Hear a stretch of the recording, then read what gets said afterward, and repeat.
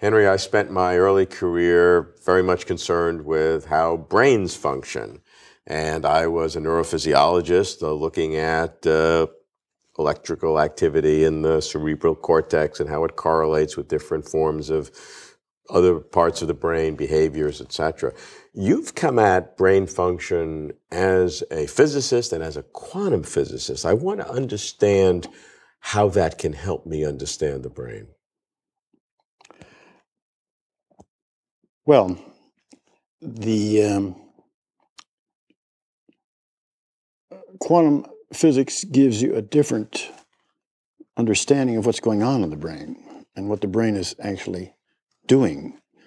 And um, the important part is that the physical understanding that uh, you deal with, if you actually look at it from a quantum mechanical point of view, is only determining potentialities for things to happen.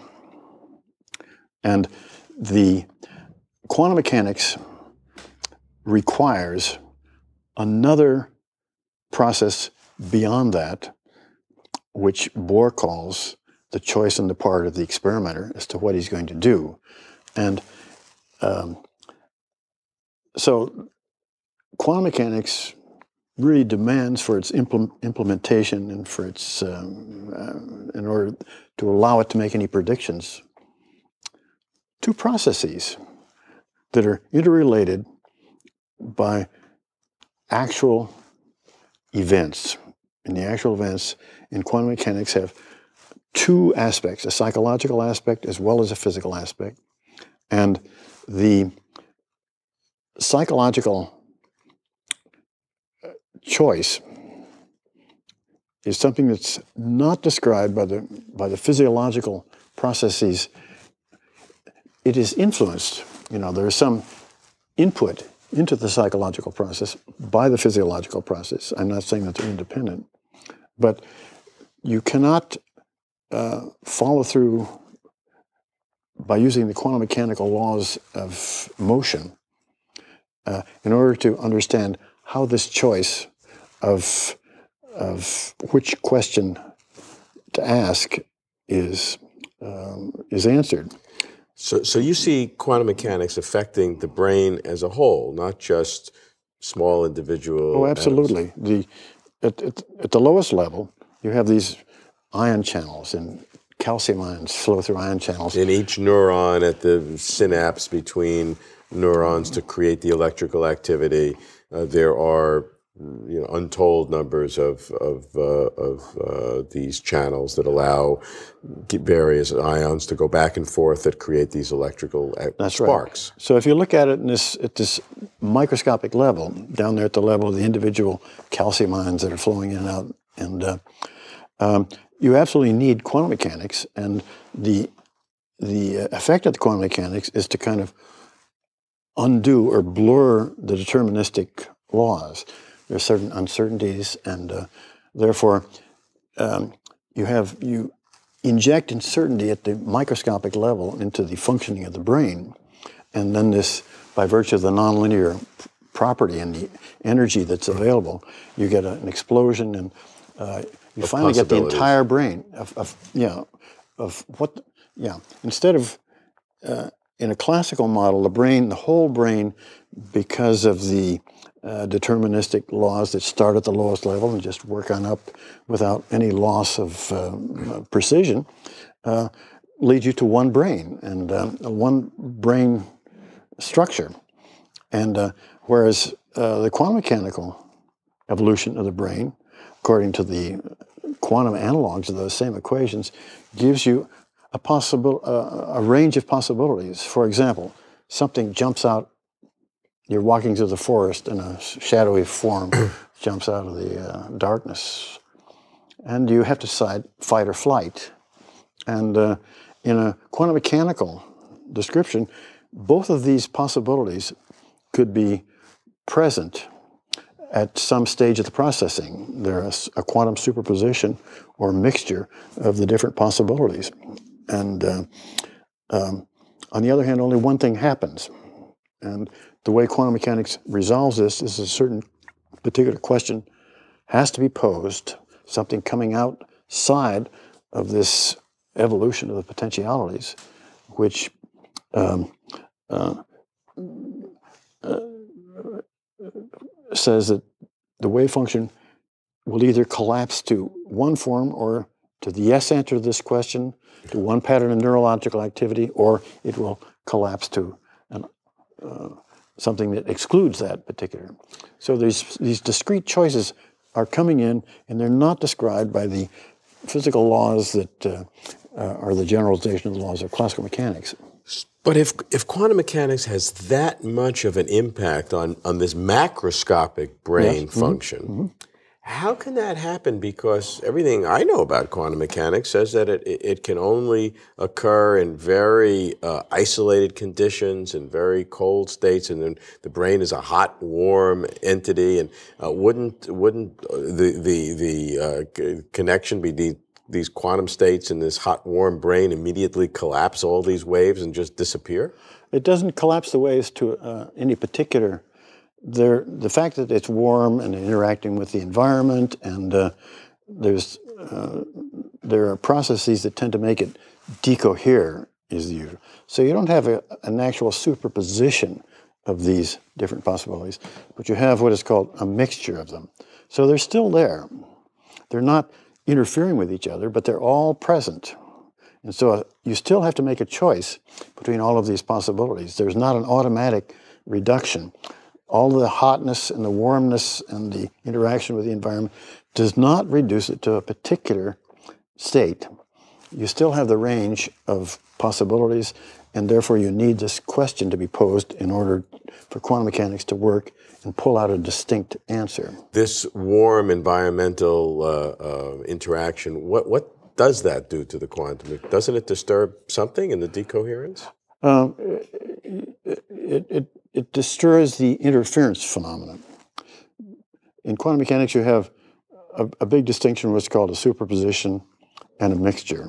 Now, it's a bit, of a technical thing, but in a mixture, the different possibilities are not uh, related in such a way that you can form an interference. And, uh, okay. So like, you're saying there's no interference, but there still is the mixture. That's right. And that is sufficient to make a, a substantial. Uh, uh, yeah, yeah, you ha- yeah, you have to get rid of this mixture, and you have to knock it down to some particular thing because it's a whole range or smear of possibilities.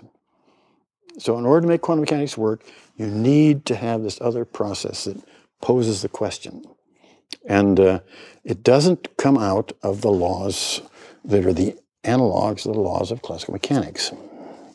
Which is the way typical neuroscientists yeah, do their business. Typical neuroscientists assume that the laws of classical mechanics basically hold, or at least that conception of how things work, is what is what they assume. So you believe that that we'll never understand brain function unless we include within it a quantum mechanical uh, understanding of the entire brain. Um, absolutely, because these choices have an effect. I mean, if it was just a matter of a description of something that's happening up there, uh, you could say, well, you can maybe you could understand it classically, but these choices have an effect on what happens in the brain, and uh, therefore, um, that means you've got to go in order to account for an effect like this. You've got to go beyond the analog, the quantum analog of the of the classical equations of motion. What about the Libet experiments, which seem to show that when we want to raise our thumb or some action, that there's an evoked potential, an electrical activity in our brain prior to having this experience, this, this sense of wanting to do it, which would seem to be demonstration that the brain physical activity comes first and the psychological process is just a secondary derivative of the physical world. Yeah, the Libet experiment, you know, is the person is told maybe in the next minute to raise his thumb at some time that he chooses. Right. And what you find is that there's this evoked potential, some activity in the brain that happens before he actually raises his thumb, and uh, and um, and has the conscious sense of wanting to, and, and has the conscious sense of wanting to raise it, or or and uh, so according to um, William James, this this conscious choice of being able to choose this or that uh, comes only after the brain has generated the, the notion of the possible action that it's going to do. It throws out the idea of, I can raise my thumb now. And according to James and according to Libet and according to quantum mechanics, that potentiality to do this thing is not automatic. There's a, a choice that's allowed by quantum mechanics, and uh, William James says it occurs in his understanding of what's going on in the brain, is a choice to consent or not consent to that action. And it's a, and this it's this, this last um, thing where you're conscious of making the choice of doing it or not doing it, and that occurs after the pulse. But the pulse was needed in order to generate the idea that you're judging. So, so what you're saying, I think, is that the, the brain activity comes first that generates a range of possibilities. Well, this particular in this particular case, it's um, okay. There's, but let's say that what you observe experimentally is is a particular time that it looks like this. I mean, this pulse comes through at a particular time before you've are aware of the fact that you want to raise your thumb. Right. And uh, it's only later that uh, you're aware of choosing to raise your thumb. Right. And uh, according to this quantum mechanical model, though, the first pulse has to do with the creation of the idea of possibly doing this. Now, is that in, in this? Is that a psychological process, yeah. or is that in the brain? The brain. There's this. Each the, the uh, quantum mechanical, there are these events, and each has a psychological and a physical aspect. Okay. And uh, so, what happens in the brain um, uh, leads to an event which has a psychological counterpart. So, this event happens in the brain, and there's an event that puts up into the brain the idea raise my thumb now. But there is then the, the choice has to be made. In fact, that's what William James says, that before it actually happens, there has to be a, a, a consent to do it. And, and that how, consent is the independent psychological process. That, that is the thing that's basically under the control of what you would say is the psychological process. Independent of what the brain is doing. Um, or separate well, from the brain? Well, of course, it's judging something that the brain has just put out. So it's not totally independent of what the brain has done. But the choices to do or yes. not to do yes. is, is not determined by the possibility of doing it. The possibility of doing it is generated by the brain. But then the choice of whether or not to do it is not determined by the, uh, by the brain process alone. In other words, it requires a psychological input.